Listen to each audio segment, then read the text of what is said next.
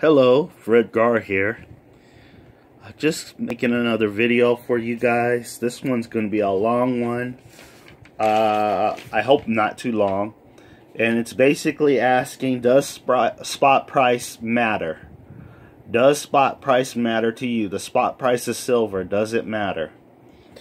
Well, I came up with, for those uh, whose spot price doesn't matter to, and then I came up with those whose spot price, silver spot price does matter to. Um, also, I had a special message I wanted to read off for dealers. So, um, please bear with me. I'm just reading from notes. I hope it all makes sense. This is a big experiment for me. So, the people who I believe it doesn't matter to, spot price does not matter to some collectors, some flippers, and to some of those people passing on their wealth to their children or other family members. A collector may buy a coin based on what he or she likes, a series they want to start or finish, and because of these reasons, a collector may not care about spot price. Flippers are more concerned about things like low mintage numbers, uh, appeal of the coin, the how it looks factor, and what they feel will be a short term demand for the coin once it has been out there on the market for like a year or less. Uh, and that's all because they want to make a quick buck on flipping the coin.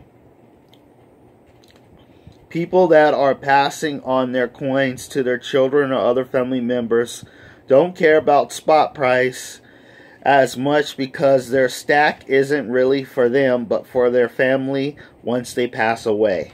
Some of this is going to sound very simplistic, but there's reasons behind my madness or a method to the madness. So those are the people whose spot price doesn't matter to. Now the people that do uh, that spot price does matter to, uh, we're going to go over real quickly. Yes, spot price matters to some of those stackers that want to buy as much silver as they can for as cheaply as they can.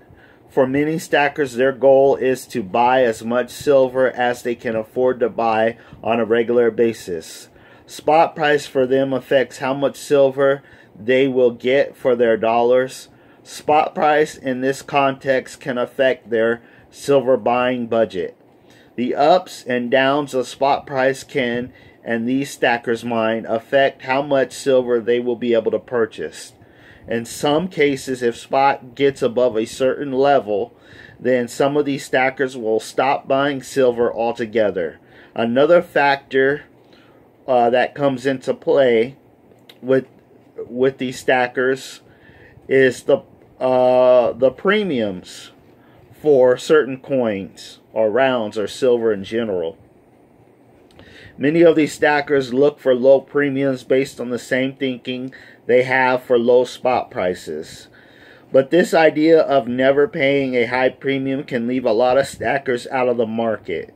We are now seeing a divergence between spot price and higher premiums across the entire silver market. When silver was around $12 an ounce, you would see some dealers selling ASCs for $24 an ounce. Many stackers made videos about how they were not buying silver because of the spread between the spot price and the premiums. I did some research at the height of when this was going on that my LCS was selling generic silver rounds for 1777. Then I called other dealers in my area and they were selling generic silver rounds for $20. One of the dealers I had talked to, I knew, or at least I had a good idea that his inventory had not changed much. So I asked myself, was he profiting on what was happening in the local market? I will leave that up to you to decide. Okay, and then this is my message to uh, some of the local LCSs and dealers, especially the ones that don't understand uh, the mind of stackers. Some dealers tend to view their customers as collectors that spot price doesn't or shouldn't matter to. I feel that dealers need to understand that not all of their potential customers fall into that group. I am aware of the numismatic value of certain coins because I was a collector in the past. But people just getting started may start out as a stacker with a different mindset. I think dealers need to be aware of the mindset that their potential customers have. Knowing this better helps you to interpret, you meaning the dealers, helps you to interpret where they are coming from, your customers, potential customers. At this point, it is important to educate your potential customers and help them to understand numismatic value and how that plays into the price of the coin. Another factor is the current price of your store's inventory. I understand if you raise your prices due to the fact that you just recently purchased new inventory from a wholesaler and it's not possible for you to get your silver for, uh, for lower prices. But if you are sitting on old inventory and you decide to raise your prices because everybody else is, meaning everybody else, meaning other dealers are, then I feel that makes you look greedy. Stackers are willing to learn if you are willing to teach, but we are not stupid. So, what inspired these three little things that I wrote that I just read off to you was a video from a YouTuber that's also a coin dealer.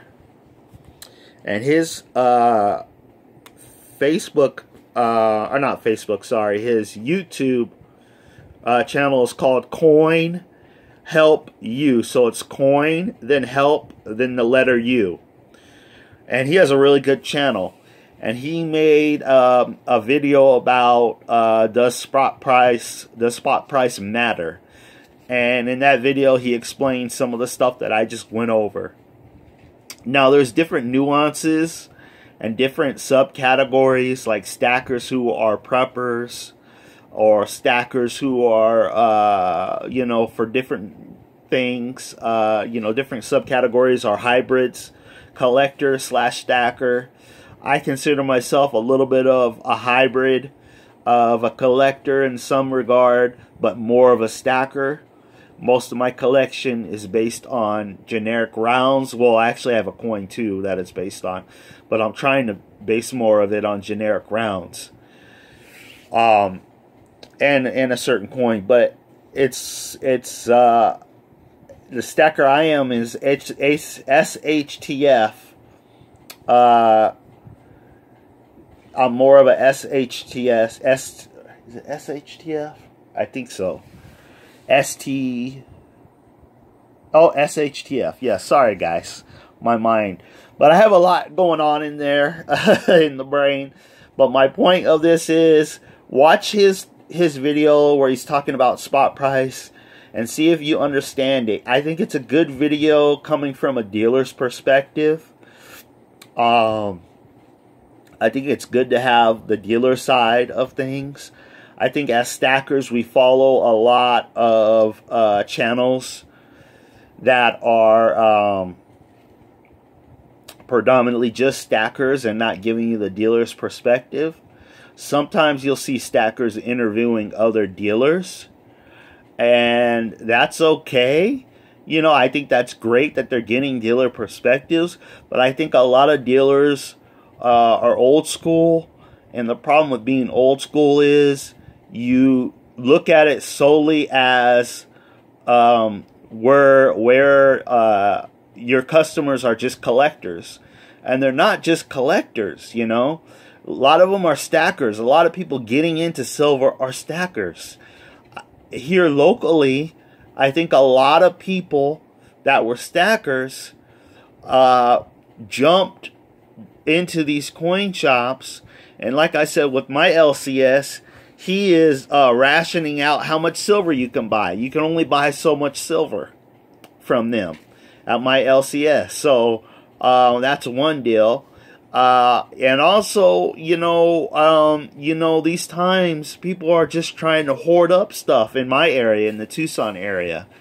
Um, baby recently baby um, diapers are people are having problems finding diapers now. They're hoarding up diapers, and I knew that was going to come. I knew I had a feeling. Why aren't diapers being hoarded up now that schools have been um, temporarily uh, closed, or you know because of the social distancing deal here in uh, Tucson? And then daycares they may be closed because of social distancing. So your child's at home home more, and you're gonna need more diapers. You're at home because your job. You're gonna need more diapers. So it makes sense that people would hoard diapers. It sounds crazy, but we have a lot of hoarders in this area. Uh, I I hear stories about the National Guard coming out to make sure people don't hoard items. But uh, a lot of people are telling me they don't see the National Guard where they're shopping or where they're going to. Uh, so just a lot of different information. This was a kind of choppy video. I apologize. I was trying to hold the camera and read from my notes. So I do apologize. But I, I want everybody who watches this video to see the other side of the coin uh, in terms of uh, understanding collectors understanding stackers. And I think there's some frustration on some dealers' minds because they're like, well, if they're uh, if they're if my customers are collectors, they should understand my prices are fair and competitive. But they're not just all your customers are not just um, coming to you from a uh, sole collector mindset. You know, buying certain coins based on numismatic value, you know? So it was just something interesting. I'm sorry I was wonky earlier about the SHTF deal. Uh, you know, uh, that's all. I, sorry, guys. But yeah, so I don't know. Let me know what you think in the comments. Uh, I was trying to jump a lot of stuff together. I noticed oil went down a dollar something today. Silver was down. Gold was down. Um, we'll see if they bounce back. They might. Uh, but like I said, there's a divergence right now between, or there's a div- there's like a uh, a wide gap between the premium on silver and the spot price of silver, and that gap could grow. You know, uh, online dealers are having issues from what they're saying sourcing uh, silver at spot price and I know wholesalers are uh, not giving the best deals right now in some cases. So um, be kind, look for deals. Don't be too negative. I think there's frustration on some stackers' part, parts as well as some dealers' part. So don't be frustrated. Let's just learn from each other. Uh, let's try to grow as people and make sure our needs are met in a positive way instead of a negative way, not bashing somebody who's just trying to help and give you their perspective. Okay, everybody, it's Fred Gar here, just with another video. Sorry if I was a little uh, out of it, but I hope you guys have a great week. Take care and be safe out there. Bye bye.